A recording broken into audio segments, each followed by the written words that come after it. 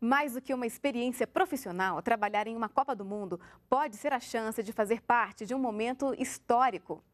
Voluntário na Copa de 50, seu Elmo Cordeiro conheceu em detalhes lances que marcaram o campeonato de 63 anos atrás. Há mais de 60 anos, o aposentado Elmo Cordeiro teve uma experiência que nunca lhe fugiu da memória. Apaixonado por futebol, ele trabalhou como gandula na Copa do Mundo de 1950, no Brasil, quando tinha apenas 16 anos. Participou de três jogos no Estádio Independência, em Belo Horizonte. O primeiro Suíça e Iugoslávia, depois Inglaterra e Estados Unidos, depois Uruguai e Bolívia. E o único jeito que eu tinha de ver os jogos, porque na época eu não tinha dinheiro, era trabalhar justamente de gandula, pegando as bolas atrás do gol. Hoje, aos 77 anos, seu Elmo lembra bem de tudo o que passou. De cabeça, se recorda da escalação de várias seleções da época. Moro, Giovannini, Furiasi, Mari, Paroli, Fattori, Mucinelli, Boniperti, Capello, Capetelli e Carapelese.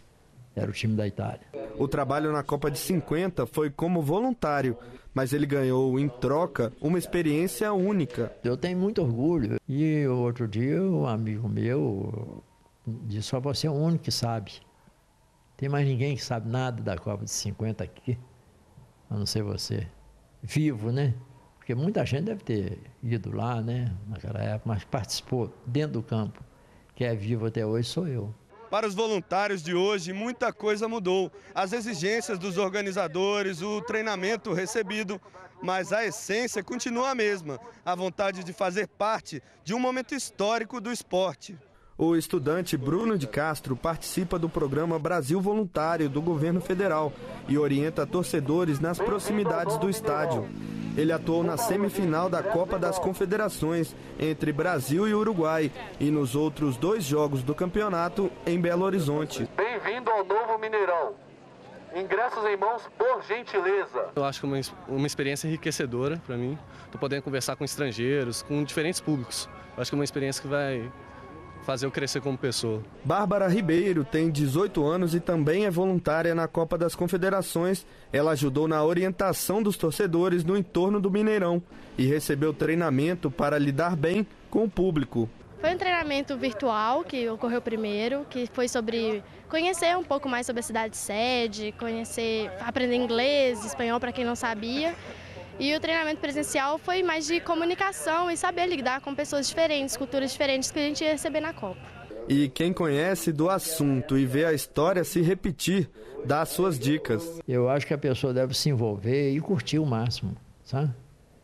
Com dignidade, com disciplina, respeito.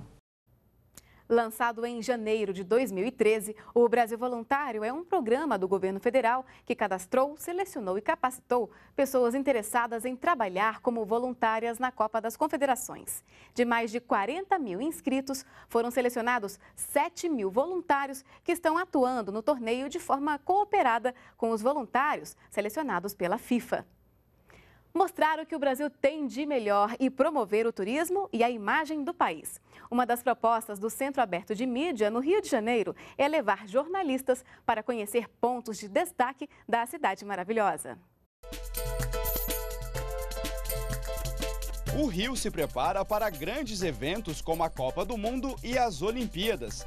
E a visita de jornalistas brasileiros e estrangeiros aos principais destinos turísticos e ações de políticas públicas de sucesso ajudam a mostrar o Brasil para o resto do mundo. A gente está promovendo alguns tours pela, pela cidade, né? Para quê? Para ele conhecer como é que a cidade está se preparando para esses desafios. Então, além da gente levar ele no Cristo, no Pão de Açúcar, nos pontos turísticos da cidade, que é essa que eu acho que o, o, jornalista internacional vem muito com essa curiosidade, a gente vai levar também para o centro de operações, que é a parte de inteligência da cidade. A gente vai levar no Morar Carioca, no, na comunidade do Chapéu Mangueira. A gente vai levar no Parque Olímpico, na, no Porto Maravilha, tudo para ver como é que a cidade é, para ver em loco como é que a cidade está se preparando para esses grandes eventos. Um dos destinos foi o Centro de Operações da Prefeitura do Rio. O local une forças de mais de 30 órgãos do serviço público para visualizar, monitorar e analisar o que acontece nas ruas da capital. Essa sala é o coração do Centro de Operações da Prefeitura do Rio. Aqui trabalham 400 profissionais em três turnos, monitorando 24 horas o cotidiano da cidade. Nesse telão de 80 metros quadrados, é possível acompanhar em tempo real as imagens das mais de 560 câmeras de segurança espalhadas pela capital fluminense. A gente minimiza os impactos de assuntos do dia a dia, de crises ou de grandes eventos na vida da cidade, na vida dos cidadãos e até salvamos vidas dependendo da grandeza do que a gente está falando. Através da interação de 30 órgãos que estão sediados aqui, a gente promove respostas mais rápidas. Carol Tshabalala trabalha em uma emissora esportiva da África do Sul. Ela destaca que visitas como essa são importantes para mostrar aos jornalistas de fora do país os avanços do Brasil, como na área de segurança pública. E na segunda etapa do Press Tour, os jornalistas conheceram o Cristo Redentor, um símbolo do Brasil e uma das maiores e mais famosas esculturas arte deco do mundo. A partir do Cristo Redentor é possível ter uma visão de 360 graus da capital carioca. E daqui também dá para ver como o Brasil se prepara para os próximos anos.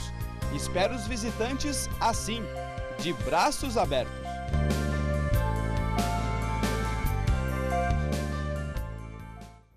Acompanhe as políticas públicas do governo federal para os grandes eventos aqui na NBR, a TV do governo federal.